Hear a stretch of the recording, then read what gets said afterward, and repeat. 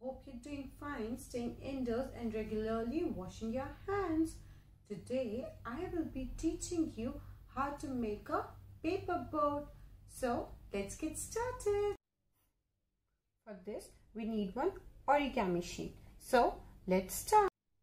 Now, we will turn the origami sheet like this and then we're going to fold it into half and then crease it properly and then fold it one more time like this and then crease the sides.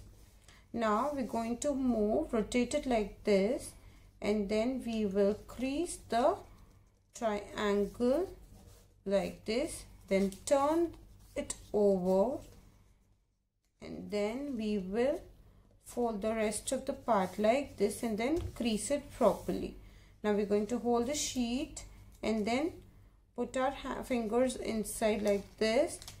And we're going to make the fold this way. And then we are going to crease the sides again.